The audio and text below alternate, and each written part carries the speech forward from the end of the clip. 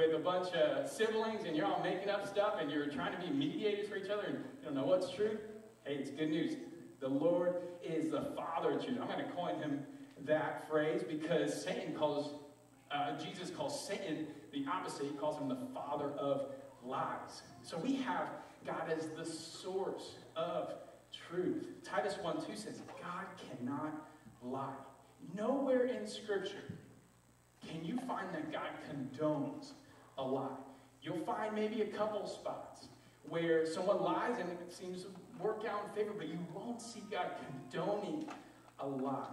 He is the source of truth because he's purely holy and good. It's not that just, just that God knows the truth, but his truth is packed with goodness for his people. That is together. So, what is true, every word that the Lord has spoken, every thought he has thought, he is thinking truth and truth alone, and that truth is only good and all good for his people. They don't separate. In fact, Jesus calls himself the truth. The truth, the way, the truth, the life in John 14, 6. So God loves the truth. And here's what God does with things he loves. God puts a plan in place to protect it and to keep it, right? He does that. And he does that for the promises he has for his people who are a part of that promise. So here's what God does. And he says, I'm going to give you 10 laws. I'm going to start you at 10 commandments, Exodus 20.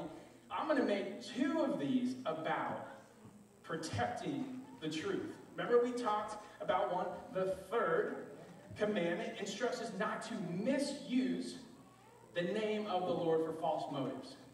Don't lie about the Lord, who the Lord is so we can get our way. So that protects love of the Lord, right? The second is the ninth commandment, which is now protecting our love for our neighbor. To not misuse the name of our neighbor or truth about our neighbor for our own false testimony or false gain. So, the Lord is protecting truth because he knows that truth itself protects and preserves. First of all, it's protecting God's glory because it's preserving our love for God. So it's, it was really protecting our love for the Lord to know exactly who He is, and that preserves His glory. And it preserves His name in our worship. And we're here this morning because His name has been protected. Second of all, He is protecting our love for our neighbor, for our church, for our community, so that He can preserve the livelihood of people. Not just their livelihood, but their justice as well. So I don't know if there's ever been a time in your life where you knew some truth. Maybe someone gave you a good heads up. A good heads up is always good, right? Uh, but maybe you knew a truth that protected you. I'm not sure if, if that's ever happened to you. I'll, I'll give you one example. Gina and I were coming back from a hike once, and so we're driving. You know how you go in Missouri, you go for a hike there, and you go through all these little small towns. Like, usually, I am a good planner, but I'm like, I don't need to plan this. All I want after a hike is our french fries. I'll be honest. Just give me like a burger and fries. I'll even take McDonald's sometimes. Because, you know, after camping, you're like, just give me the fried stuff. You can't do that camping, right? I mean, some of you can. I've learned that recently. Y'all can cook anything out there. Um, but we're driving back and we go by this place where there's a fine line between like a place that looks like a gem and a place that is, yeah, you know, you know what that place. Yeah, about to kill you. Uh, so a trap, pretty much. So we go in this place. I we forget the name. We're trying to think of what the name of this place was. I think it was like Aunt Mama's or something like some really weird name. We're like, hey, maybe that's maybe that's cool. It looks like a cool little cute place. Walk in there. I mean, there are no cars. Walk in. There's one person like sleeping on a counter. That's all. And we're like, we're committed. All right, we're here. We're hungry. They, you know, they're, they're writing their menu on, on the wall, which sometimes that's a really good sign. Sometimes it's really, really not a good sign. My Grandpa Gary, though, here's the truth that I should have listened to. My Grandpa Gary told me if there aren't cars in the parking lot, don't go there. Right? That is a good truth to abide by, and uh, we didn't. So we went in there, and, and it was just the, one of the worst meals we've had in our life. We both got fries. Gina got sweet potato fries. I got normal fries. They were raw. They were raw and they were just greased. It was just like, what is this? We didn't eat it. Don't. Well, maybe I ate a little bit. I mean, it's potatoes. Come on.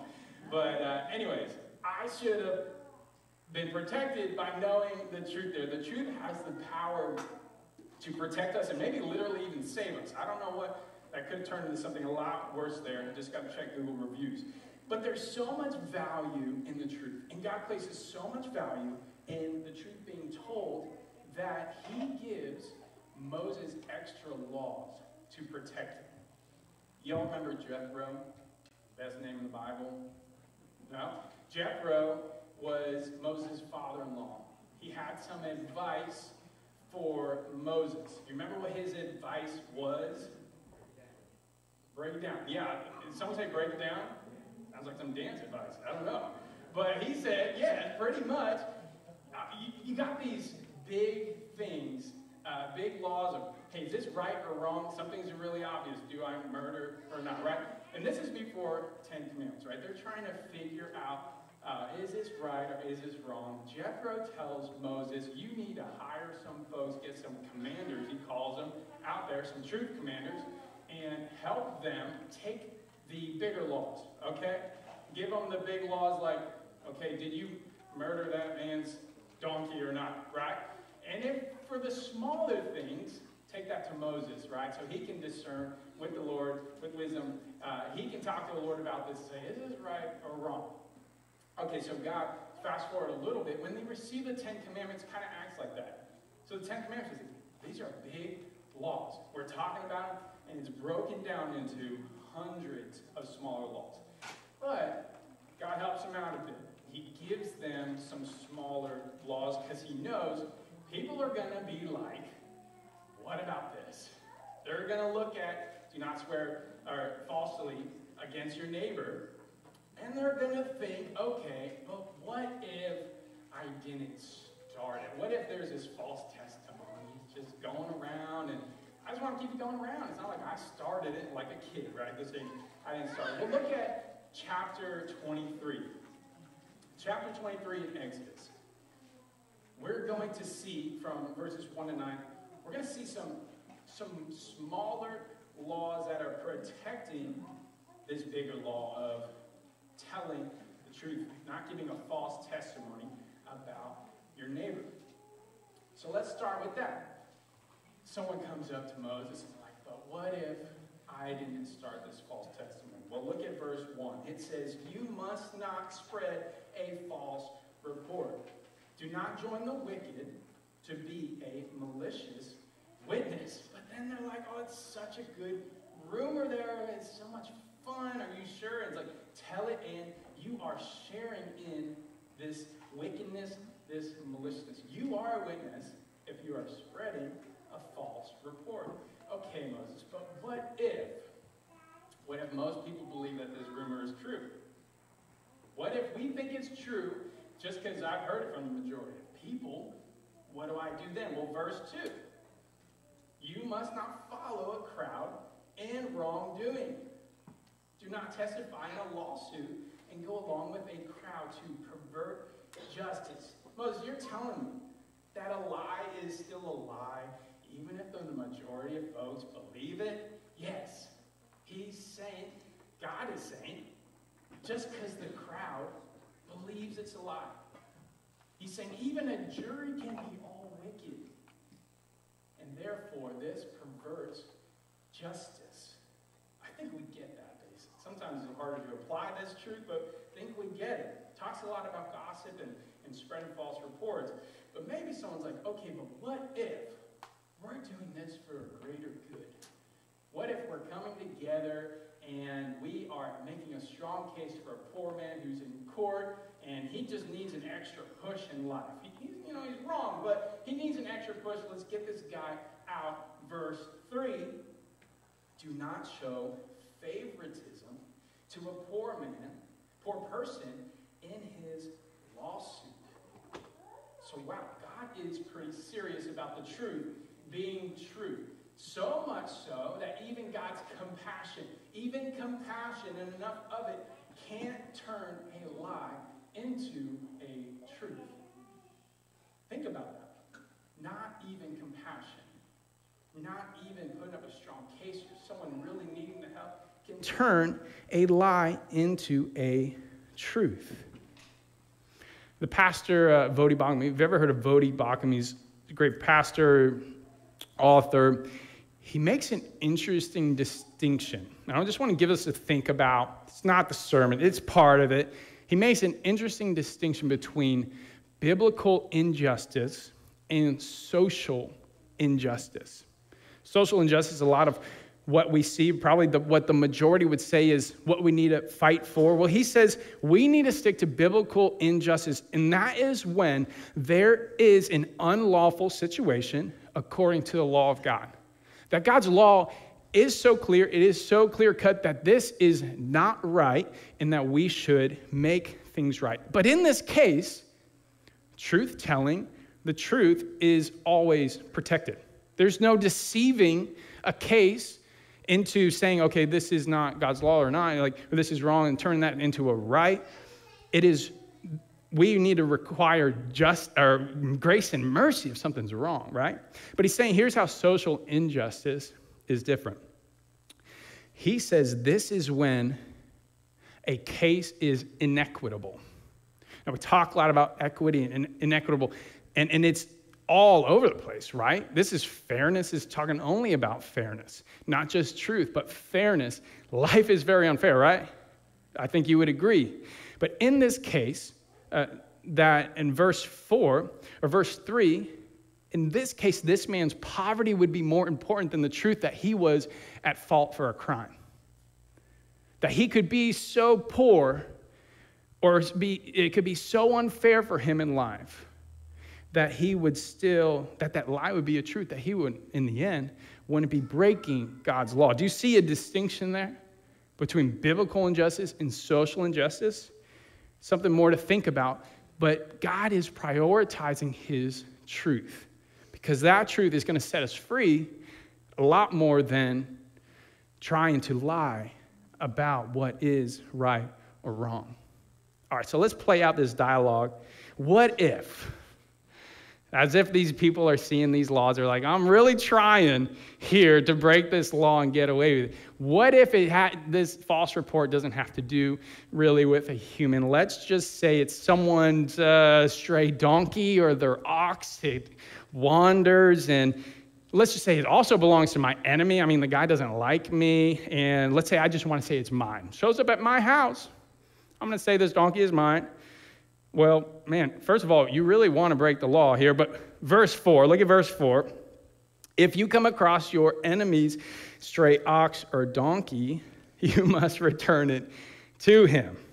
Okay, but what if they hate me? Okay, what if, I mean, they really hate me, they want it out for me, and let's just say this donkey is helplessly dying. Like, come on, can I break? I'd be like, gosh, you're really trying here. You're really trying hard. Anyways, no, however, look at verse 5. if you see the donkey of someone who hates you lying helplessly under its load, lying helpless under its load, and you want to refrain from helping it, you must help with it. Okay, what does this have to do with telling the truth? Well, sorry, even if you don't want it, now you have to help it but why? It's not it's not like he's lying about it being his anymore. Here's here's why. Because this isn't just about truth telling. The command to tell the truth is about justice.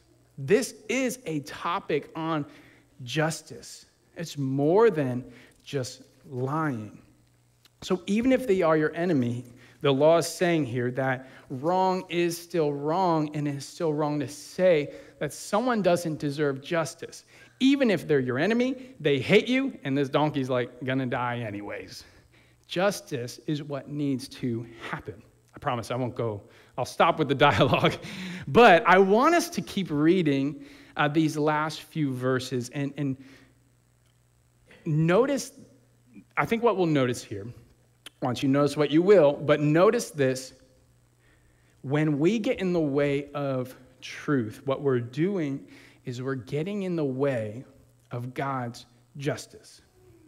When we get in the way of God's truth, what is truth, by suppressing it, we are getting in the way of God's justice.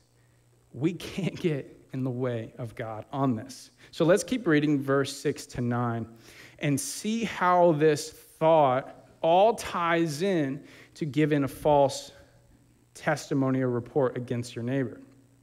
Verse 6 You must not deny justice to a poor person among you in his lawsuit. So this is counteracting verse 3. Okay, they're, they're poor. Yeah, they still did something wrong. Doesn't matter. They still do need a lawsuit as well. Like they still need to have justice, you know, fight for justice, right? There needs to be both.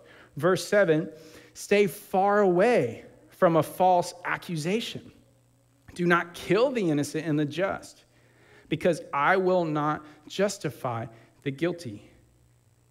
You must not take a bribe, for a bribe blinds the clear sighted and corrupts the words of the righteous. And last verse, you must not oppress the resident alien. You yourselves know how it feels to be a resident alien because you were resident aliens in the land of Egypt. So I think it's clear. When we read these smaller laws, the Lord is saying that wrong is wrong, a lie is a lie. And I know we don't want to be so black and white on some things like this, especially when it comes to lying, and you know, we'll get to some of that, but the Lord is saying wrong is wrong. This is about justice. This is about the righteousness of God to have a fair chance to prevail to not deceive and ruin that.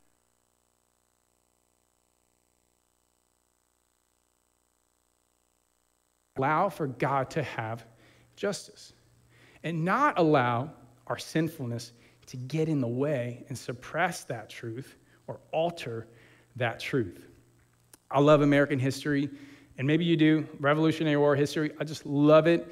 Um, one of my favorite people, or John Adams, just incredibly impressive. I feel like when you read his, his biography, but let me refresh your memory on an event that I thought uh, that really made me like John Adams. So, back to history class, you remember the Boston Massacre, okay? That isn't just the Patriots defeating so many teams. That is actually in 1770 when the colonists in Boston, they get frustrated and they're, it's just boiling over and they take it to the customs house and they, there's a guy who gets hit by a British soldier. Next thing you know, there's this angry mob of hundreds of colonists. They're throwing rocks, they're throwing stones. And the British soldiers, there are eight more that come along, and or eight there total, and they are trying to calm down the mob. And what happens but a gunshot goes off, and next thing you know, five of the colonists are killed.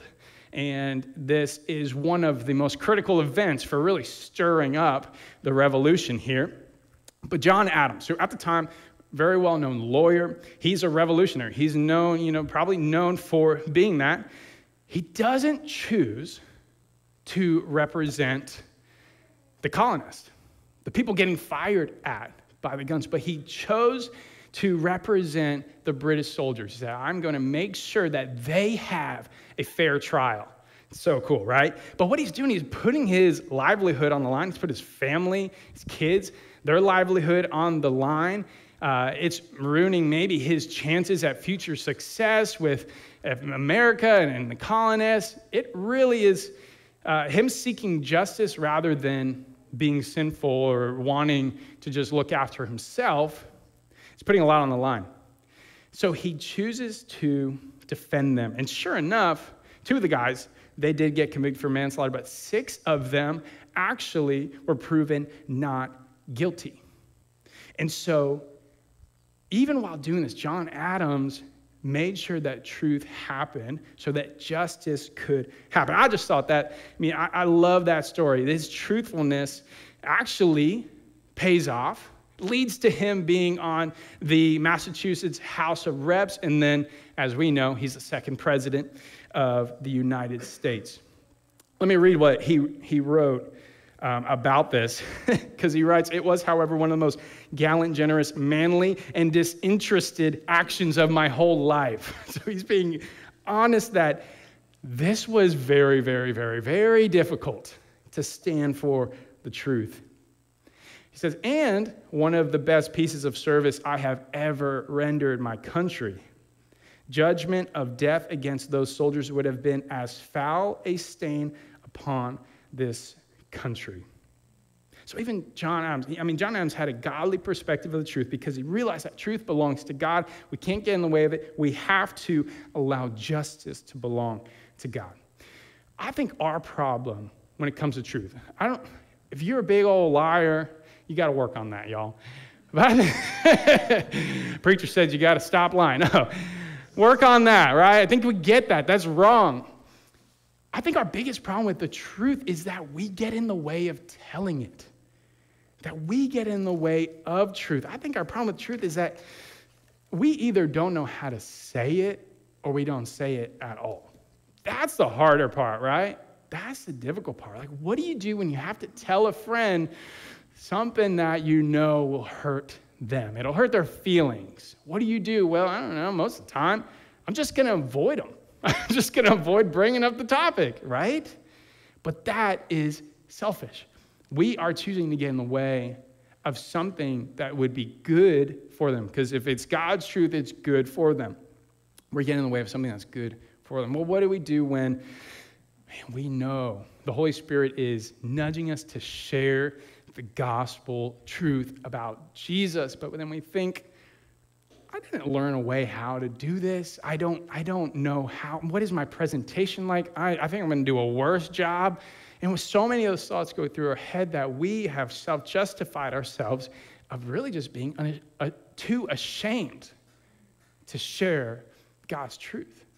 We suppress it, we lie, and we kind of tell ourselves things like, I'm just going to be good enough so that they're going to believe that God is good. Well, in reality, you're not even good enough to care for their soul by sharing the truth with them. But what do you do also when you got to tell something to the pastor? You got to bring something to the church, and maybe this one's more personal. I got to bring it up.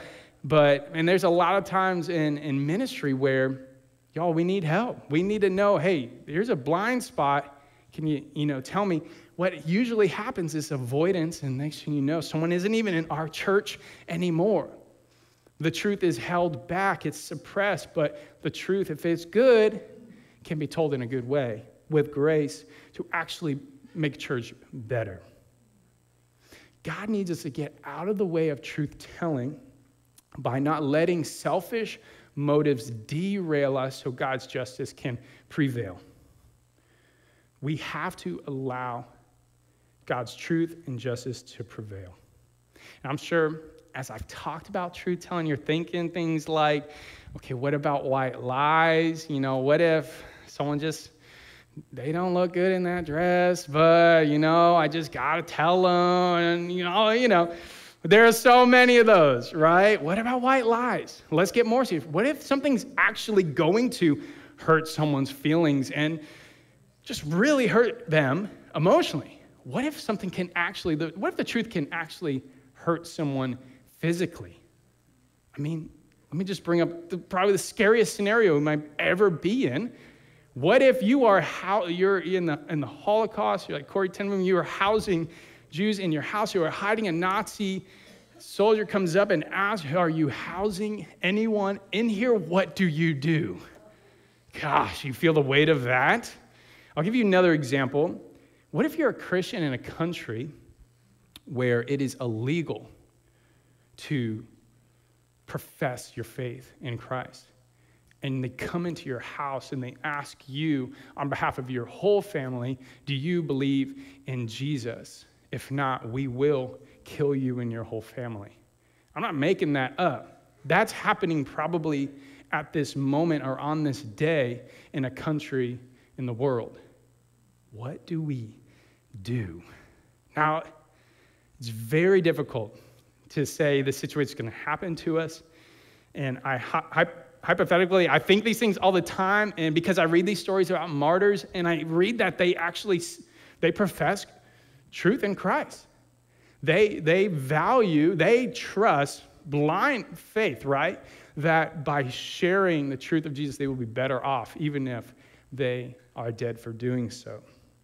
So it's tough to put ourselves in this situation, but as a pastor up here and the Bible in my hand, I cannot tell you a moment in Scripture where the Lord condones a lie. Now, I do believe there's a lot to learn from the Lord about how to seek Him for discernment and for wisdom on how to use our words. But I can't give a case for a lie creating a righteous situation. Lying in the Bible is simply a sin. It takes a lot of faith to do that. Like every other commandment, telling the truth takes faith. And if we love Jesus first and foremost, we will keep his commandments. Because here's the issue with all these questions white lies, lies are hurting feelings, hurting like actual lives. And most of these circumstances, what we are trying to convince ourselves is a lie. And that lie is that we can lie out of love for our neighbor that we can lie out of love. In other words, that we can go outside the righteousness of God to create a righteous result for God. In other words, that we can love our neighbor more than loving God, just a short time, as if it is going to come back around. That's what we do every time we lie, anytime we sin, and expect a righteous result. But God says, Jesus says, if you love me, you'll keep my commandments. So I'm going to leave that at that. But I want to give us, to wrap things up, I want to give us some actual tangible things. If we are to be faithful as truth tellers as the church, because John says that we are co workers in the truth as a church, we are co workers in the truth. I want to give us some ways that Jesus is, God is trying to preserve uh, the church as the light. He's trying to keep salt, saltiness, right? He's trying to keep us for the world, a light to the world. Here's the first one. The first one, and there are several of these if you want to write them down and put in your notes or so. The first one is we need to make a decision as Christ followers to not ruin our witness by lying. To not ruin our witness by lying telling even a white lie. Y'all know those folks. They're going to tell you a white lie. You go to them, you know, you, you can test them a little bit, right? They're afraid of your feelings. They're afraid of, you know, not being liked. You know, we're all kind of like that. But what they're doing, even you know, as Christ followers, what we're doing is we are lessening our witness. Even a white lie is turning us more into a tr- untrustworthy reputation. And the lie is going to do that. What, what, is, what is a hard thing to gain back? Truth or trustworthiness is a hard thing to gain back. So we, most of all, are mouthpieces and messengers and ambassadors of the gospel truth, the gospel message. Our whole life should be preserving our ability to give that message out. Listen, if, if you're telling me all day long, I look good in these shoes and they match, and you're wrong and I know it, I, you know, I, what you say about Jesus is going to be, you know, I'm not going to believe you as much. But there are more serious things. If I can't trust you as a tr- trustworthy person and I, I don't know who Jesus is, listen, it's going to be hard for me to just say, oh, I don't trust everything else you say, but I trust what you say about Jesus. That's our witness of what we claim Jesus to be. So do not ruin your witness by lying. We have to not lie. The second thing is to not gossip. Ooh, that's a good one. That's a good one. Proverbs 6:28 says, "A contrary person spreads conflict and gossip separates close friends." And I say that and you're like, "Yep, I know how that feels, right?" But gossip, we get it. But how you talk, I've learned this in life. How you talk about other people in front of me is how you talk to other people about me, right? Right? So I'm bad at it. I'm, I'm, I'm going to admit, I'm, I can be really bad at this too. But that is a dead giveaway on how people, their true character is. How do they talk about other people in front of you? Let's just choose not to gossip and hold each other accountable to it. The third thing, and we see this in these, these smaller laws, to not show favoritism. To not show favoritism. And James says it. It's, you know, and it's in the gospel like God does not show favoritism, but James 2 9 says flat out, however, if you show favoritism, you commit sin. Never, I mean, rarely we get that like, okay, this is sin. Favoritism, sin, right? Because if God can't show favoritism, why can't his people?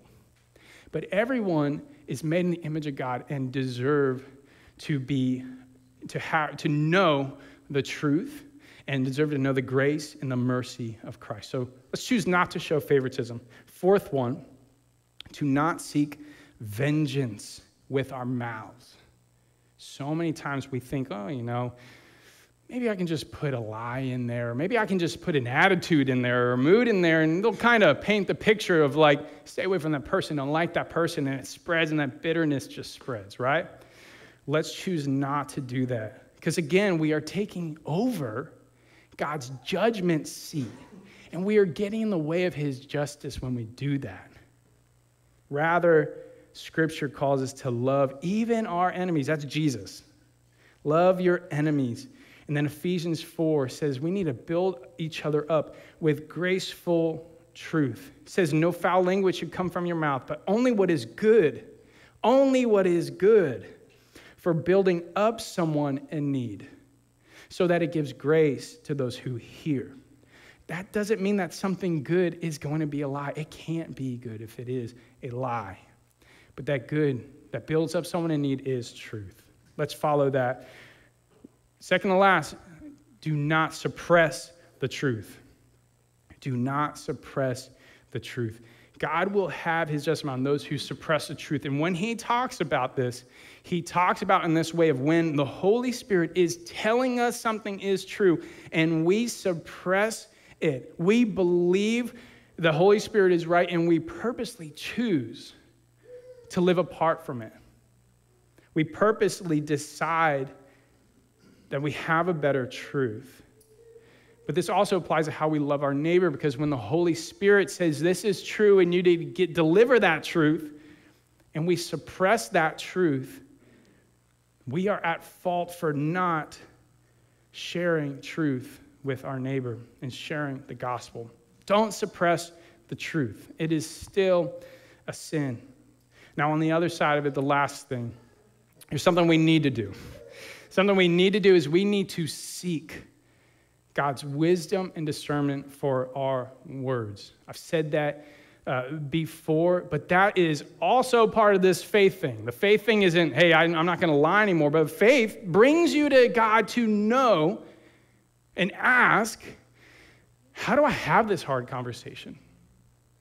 How do I handle this moment? How do, how do I tell the truth? I know this person needs to hear your hope. How do I do that?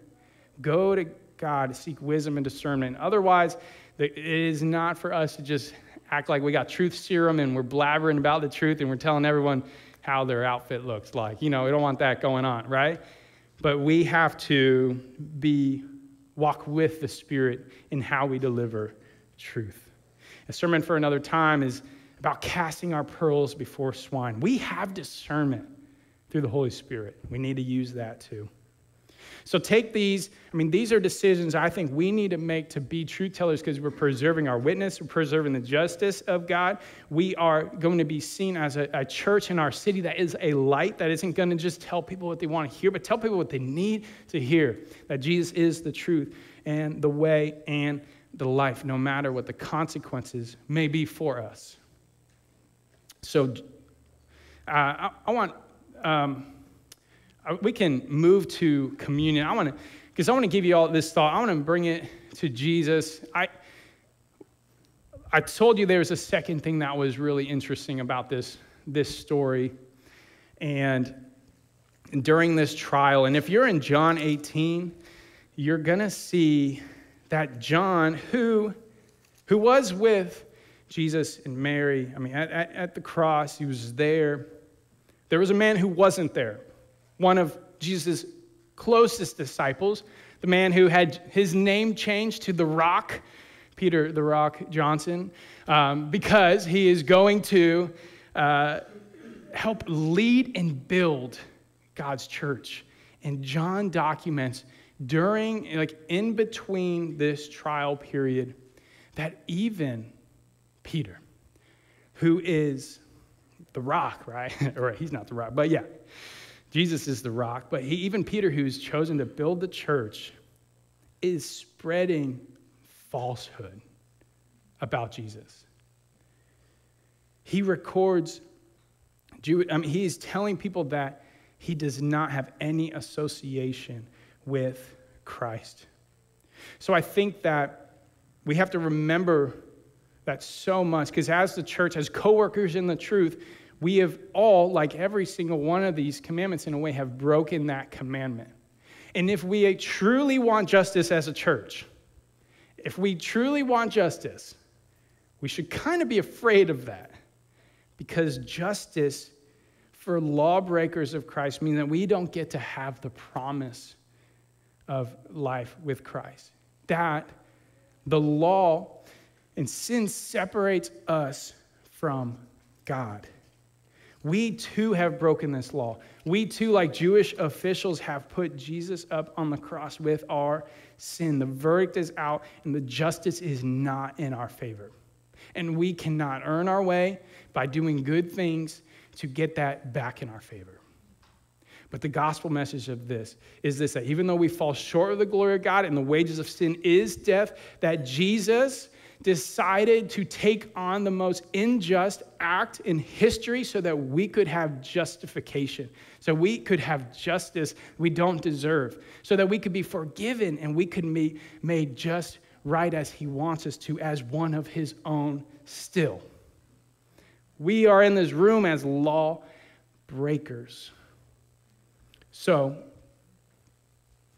we can be the Jewish officials and we can hear that, hey, we are guilty, we are at fault for breaking the law, and, and many other things. But listen, we could also be like Peter, Peter, who is guilty as well. But the big difference between them is Peter has a heart of repentance. Peter knows he broke the law. Peter knows he's guilty. Peter knows that he isn't just going to earn his way back into it.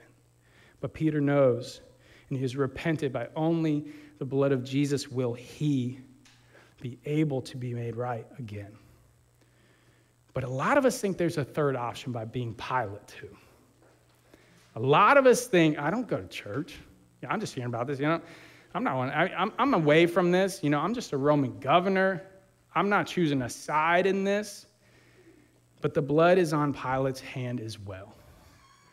By believing that we don't know better. It's, it's not true. But the truth is for all of us, we either respond by rejecting Christ or following him with a repentant heart.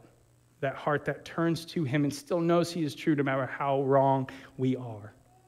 So, as we pass communion, I want us to think about that injustice. I want us to think about that bread that was the body of Christ that was broken for us, though we didn't deserve it. I want us to think about how the juice was the blood of Christ that was spilled for us because we, in part, have all been accused of spilling that as well. But I want to give us this last verse, 2 Corinthians 5:21 says, He made the one who did not know sin to be sin for us, that in him we might become the righteousness of God. So I want to pray for us as truth tellers, uh, what the Lord is, is doing in our hearts, and also for our response. If, if you are aware of how righteous the Lord is, how good the Lord is, and you are aware of this chasm between us as being guilty of believing lies, living lies.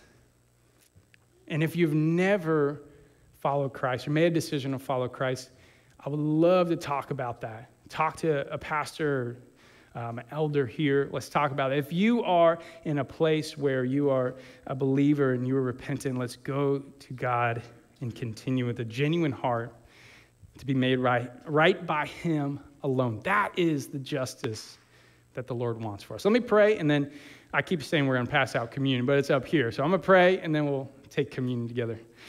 Lord, I thank you for your truth. Lord, this truth has set this room free.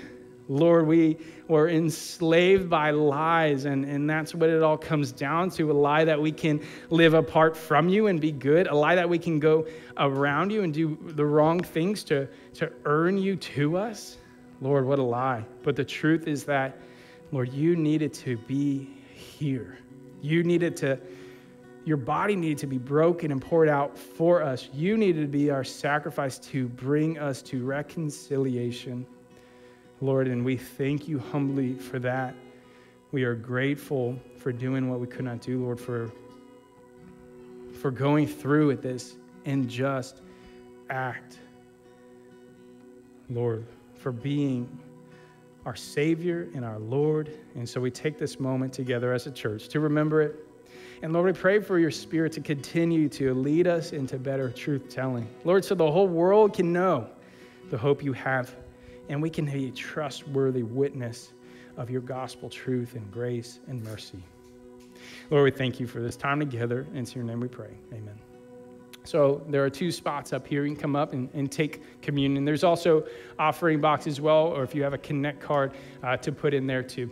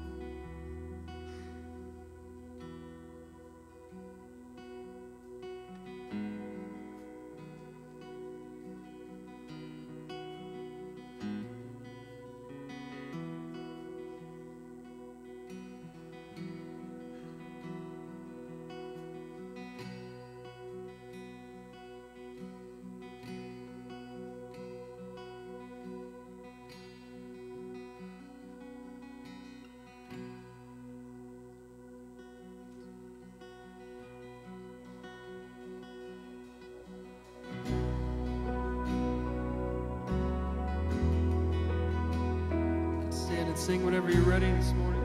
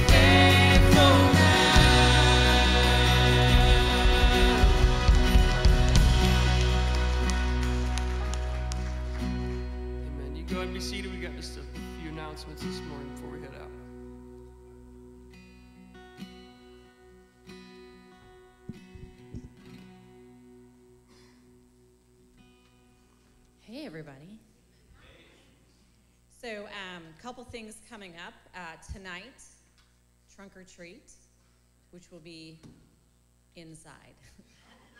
um, trunkless treating. So we will figure that out when you guys come. So hopefully you can uh, pivot from that. But um, yeah, that's going to be tonight. So the goal will be that everyone will be ready to go at five. Um, so if you have a little bit of time to prepare, you don't show up at five. Be here before five, so you're ready to go by five. Um, so looking forward to that. So um, who all is planning to come? Woohoo! That's right. That's right. Good. Um, next next weekend, uh, which is uh, Saturday, November fourth, we have, and there's a QR code up there. So ladies, get your phones out. Um, we have uh, our women's breakfast, and so we have two fantastic speakers. We have Brooke, will be giving us a testimony. Very excited for that. And then also Michelle will be giving us um, her. She'll be uh, speaking with us as well. A um, couple things about that. We're changing things around a little bit. So one thing in particular for women's ministry, kind of the vision for that is really want to see what's important to us. How, what ministries can we speak into as the, the women of the church? Um, turns out that we're in November. That's when Thanksgiving is, right? So we're going to be doing something to link with the food pantry. Um, we've got Marty's going to be helping us get some uh, turkeys. So thank you, Marty, for that. And then also looking for things maybe Thanksgiving maybe some stuffing, some cranberries. If you can bring some things to add to the food pantry, um, it's that time of year where people who don't have a lot, you know, uh, this would be a great blessing for them. So, um, so that's again uh, next Saturday, uh, 9 to 11. All women are, are welcome. And then again, QR code to sign up for the potluck. Um, and then uh, the following week, which will be um, the 9th, I believe, um, no, 10th. 10th at 6.30, we're going to be doing a covenant members meeting. So uh, that Sunday at 6.30. Oh, sorry, the 5th. Sorry. Is it up there?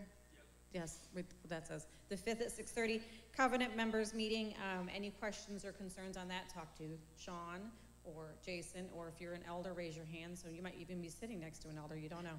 Um, but that'll be about that, so next Sunday. So um, thank you guys. Um, and just want to say, um, you know, maybe bow our heads and pray out. Um, so, Heavenly Father, we're grateful for the sermon we had today that talked about the way that we uh, speak and uh, how that influences others and our neighbors. It's one of those big commandments that we're called to follow.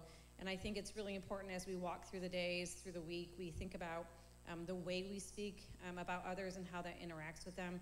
We pray that um, you help us bite our tongue when needed and maybe speak out when it's needed as well. Um, because we are a reflection of Christ in all that we do. And, um, you know, He is God above all things, and we just ask that He, um, that we reflect Him well in all that we do. In Christ's name we pray. Amen. I'm going to keep you a few more minutes here. Um, with our church in the five years we've been together, um, we've kind of set up a pattern in October to do uh, something for our pastors for appreciation. So if uh, Sean and Ryan and Jason, you're here already, so that's easy. Um, if you wouldn't mind to come up here.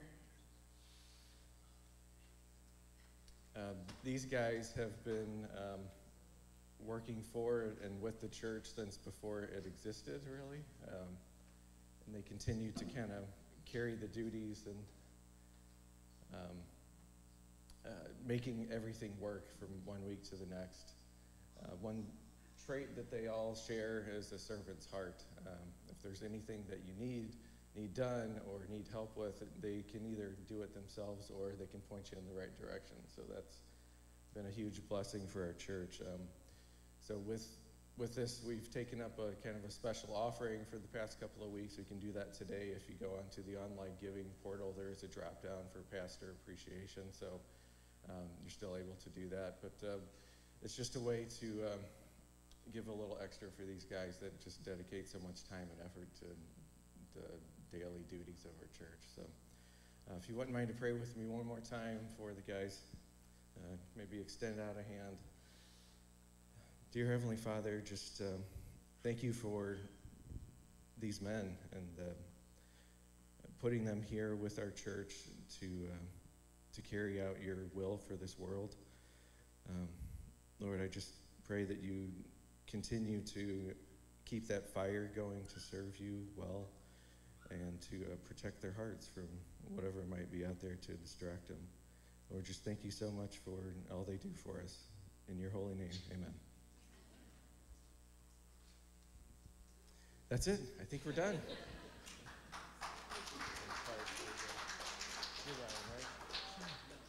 So, just in case you didn't notice, there should have been a direct deposit for each of you guys that came in.